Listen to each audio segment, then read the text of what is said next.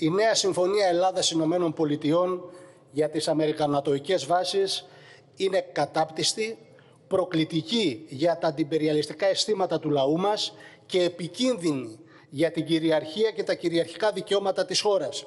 Και ως εκ τούτου το ΚΚΕ την καταγγέλει στο λαό και την καταψηφίζει προφανώς.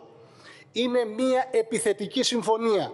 Μετατρέπει τη χώρα σε ορμητήριο για τα δολοφονικά σχέδια του ΝΑΤΟ και των Ηνωμένων Πολιτειών, μια, ένα απέραντο αεροπλανοφόρο από την Κρήτη μέχρι την Αλεξανδρούπολη και μάλιστα μια συμφωνία επαόριστον Αναβαθμίζονται και δημιουργούνται νέες στρατιωτικές βάσεις. Παραχωρούνται με τη Σέσουλα, στρατόπεδα, υποδομές για τις ανάγκες. Για τις ανάγκες του ΝΑΤΟ και των Αμερικανών.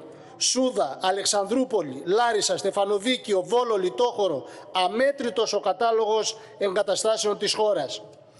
Η κυβέρνηση της Νέας Δημοκρατίας που διεκπεραιώνει τη βρώμικη δουλειά της επικύρωσης αυτής της επικίνδυνης συμφωνίας αναλαμβάνει τεράστιες και ιστορικές ευθύνες απέναντι στον ελληνικό λαό. Το Πασόκ Κινάλ ψηφίζοντας τη συμφωνία προσπαθεί να ξαναέρθει χαλίφη στη θέση του χαλίφη της σοσιαλδημοκρατίας δίνοντας τα διαπιστευτήριά του στην Αμερικάνικη πρεσβεία με την ελπίδα ότι θα έχει την εύνοια των, των Ηνωμένων Πολιτειών της Αμερικής. Εξίσου μεγάλες είναι και οι ευθύνες του ΣΥΡΙΖΑ που έβαλε τις βάσεις για αυτή τη συμφωνία μέσω του στρατηγικού διαλόγου με τις Ηνωμένες Πολιτείες, εγκαινιάζοντας τις παραπάνω υποδομές, όπως βέβαια και των υπολείπων κομμάτων που στηρίζουν μια τέτοια πολιτική. Την αρνητική ψήφο στη συμφωνία ο ΣΥΡΙΖΑ, απεγνωσμένα αλλά με παταγώδη αποτυχία, προσπαθεί να τη δικαιολογήσει με το επιχείρημα ότι η κυβέρνηση δεν έχει εξασφαλίσει περισσότερα ανταλλάγματα κυριολεκτικά πιάνει πάτος στις δικαιολογίες, δίνει εκ νέου διαπιστευτήρια στις Ηνωμένες Πολιτείες όταν μετατρέπεται σε οπαδό της επιθυμίας για μια ακόμη πιο ισχυρή παρουσία των Αμερικανών και του ΝΑΤΟ στη χώρα. Δηλαδή βασιλικότερος της Νέας Δημοκρατίας και νατοικότερος του ΝΑΤΟ.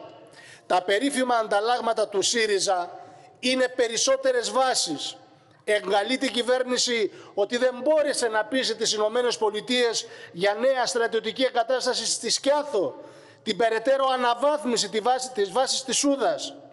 Ούτε οι Αμερικανοί δεν έχουν εκφράσει δημόσια τέτοιες προθέσεις, εκτός εάν ο ΣΥΡΙΖΑ και ο κύριος Κατρούγκαλος έρχονται ως λαγοί για να τα προωθήσουν μελλοντικά είτε οι ίδιοι είτε άλλες κυβερνήσεις. Τι διαφορά έχει η πρόταση του ΣΥΡΙΖΑ; Για περισσότερες νατοικές ασκήσεις στα νησιά, για να μην αμφισβητήσουν, όπως λένε οι Τούρκοι, την κυριαρχία τους, από τις ασκήσεις της Τουρκίας που έγιναν με σενάρια απόβασης και κατάληψης νησίδας προφανώς ελληνικής και με παρουσία Αμερικανών και άλλων ατοικών αξιωματούχων, τέτοιος στοιχοδιοκτισμός, τέτοια υποκρισία.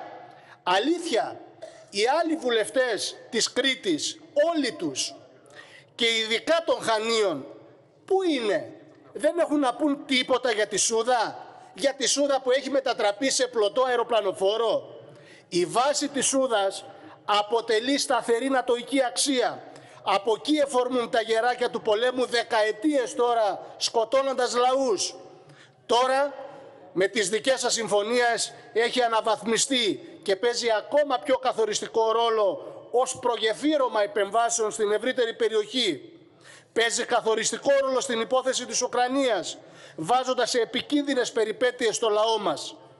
Ήδη ετοιμάζονται οι Αμερικάνοι να αναπτύξουν 10 μαχητικά F-35 και 14 F-15 στην 115 πτέρυγα μάχης της Σούδας, επενδύοντας δεκάδες εκατομμύρια δολάρια για τη βελτίωση του φωνικού εξοπλισμού τους. Η ναυτική βάση της Σούδας μπορεί να φιλοξενήσει πυρηνικά αεροσκάφη τύπου Β2 Spirit, αεροπλανοφόρα που φέρουν πυρηνικά όπλα καθώς και πυρηνικά υποβρύχια. Μπορεί επιπλέον να φιλοξενήσει σε μια κρίση ή σύγκρουση αεροσκάφη διπλής ικανότητας που συμμετέχουν σε πυρηνική αποστολή του ΝΑΤΟ και να χρησιμοποιηθούν για την αποστολή σημάτων αποτροπής ή για την επίδειξη αποφασιστικότητας. Οι ίδιοι Αμερικανοί ομολογούν ανοιχτά ότι η χώρα μας ως χώρα διαμερισμού πυρηνικών όπλων αποτελεί στόχο των αντίπαλων κέντρων. Δηλαδή, ανα πάσα ώρα και στιγμή μπορεί να μετατρέψουν τη χώρα και το νησί σε κόλαση. Εμείς δεν θα το επιτρέψουμε αυτό.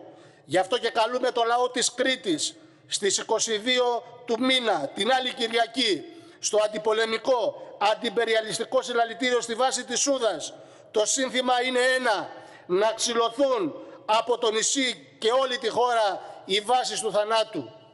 Θυμίζουμε ότι το αεροπλανοφόρο Τρούμαν από τον προηγούμενο μήνα αλωνίζει από την Κρήτη μέχρι το Βόρειο Αιγαίο με τα αεροπλάνα να απογειώνονται με κατεύθυνση την Ανατολική Ευρώπη και τη συνοριογραμμή με τη Ρωσία. Ενώ την Παρασκευή που πέρασε έδεσε στη Σούδα το ειδικό κατασκοπευτικό σκάφος του γαλλικού πολεμικού ναυτικού W. Λόεμα. Έχετε μετατρέψει την Κρήτη πραγματικά σε φωνικό όπλο και ταυτόχρονα σε πολεμικό στόχο αντίπαλων ανταγωνιστικών υπεριαλιστικών δυνάμεων των Αμερικανών και του ΝΑΤΟ. Η Ρωσία ανοιχτά έχει δηλώσει ότι όπου υπάρχει επιθετικός στόχος σε βάρος της θα το ανταποδώσει. Το διαχρονικό επιχείρημα των ελληνικών κυβερνήσεων ότι με τον πολλαπλασιασμό των βάσεων στη χώρα μας θωρακίζεται η ασφάλεια και τα σύνορα έναντι της τουρκικής επιθετικότητας είναι ιστορικά χρεοκοπημένο και δεν αξίζουν ούτε το χαρτί ούτε το μελάνι που είναι γραμμένες. Είναι ή δεν είναι αλήθεια ότι η ΕΠΑ και το ΝΑΤΟ παζαρεύουν με τη σύμμαχο Τουρκία με κριτήριο τη διατήρηση της νατοικής συνοχής; Τι άλλο εννοούσε άλλωστε ο Υπουργός Εθνικής Άμυνας όταν έλεγε ότι δεν είναι καλή εποχή να λες πράγματα εναντίον της Τουρκίας στο ΝΑΤΟ. Από πού έως πού προκύπτει ότι σε περίπτωση επίθεσης της Τουρκίας οι Αμερικάνοι θα σταθούν στον πλευρό μας. Δείξτε μας ένα ιστορικό τέτοιο παράδειγμα. Τι έχουν προσφέρει μέχρι τώρα οι σύμμαχοί σας, οι δικοί σας, σε βάρος των κυριαρχικών δικαιωμάτων της χώρας, τον αναβάθμισαν ή τον υποβάθμισαν το ρόλο της Τουρκίας στον πόλεμο της Ουκρανίας, μειώθηκαν ή έσπασαν ρεκόρ οι τουρκικές υπερπτήσεις και παραβιάσεις του ελληνικού εναέριου χώρου και ποιος της δίνει αέρα στα πανιά της, για ποια διασφάλιση της κυριαρχίας της Κύπρου μπορεί να γίνεται λόγος όταν είναι διχοτομημένη 48 ολόκληρα χρόνια μέλος της Ευρωπαϊκής Ένωσης με ισχυρές σχέσεις με τις Ηνωμένες Πολιτείες, το ΝΑΤΟ και με παρουσία Βρετανικών Ατοικών βάσεων; Πείτε το καθαρά ότι η διατήρηση του αραγούς μετόπου των χωρών μελών του ΝΑΤΟ και η ενίσχυση της νοτοανατολικής πτέρυγας του ΝΑΤΟ καθορίζει τη στάση των Ηνωμένων Πολιτειών και της Ευρωπαϊκής Ένωσης στις ελληνοτουρκικές σχέσεις και στο Κυπριακό, προωθώντας όλοι τους το συμβιβασμό για συνεκμετάλλευση στο Αιγαίο και την Ανατολική Μεσόγειο σε βάρος κυριαρχικών δικαιωμάτων της χώρας. Μόνο το ΚΚΕ με την ταξική πατριωτική και διεθνιστική του πολιτική αποκαλύπτει ξεκάθαρα ότι πρόκειται για μια επιθετική συμφωνία που μαρτυρά την επικίνδυνη εμπλοκή του ελληνικού κράτους στον υπεριαλιστικό πόλεμο στην Ουκρανία. Τέλος,